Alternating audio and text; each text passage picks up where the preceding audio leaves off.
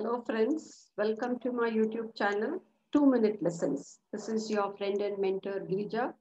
Do like, share and subscribe. Here is a 2 minute lesson and uh, we are learning about phrases. What is a phrase? Well, uh, it is a group of words. It is a part of a sentence and a phrase has meaning, a limited meaning, uh, but it is generally incomplete. Very important to know that a phrase does not contain a subject and a verb.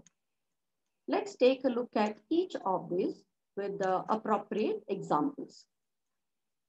Okay, a phrase is a group of words. My sister Rita. These three words form a group. So, my sister Rita is a phrase. It is a part of a sentence. My sister Rita has a lovely garden. Uh, so, the group of words, my sister Rita, which is a phrase, it forms part of the complete sentence. A phrase has meaning, but it is incomplete.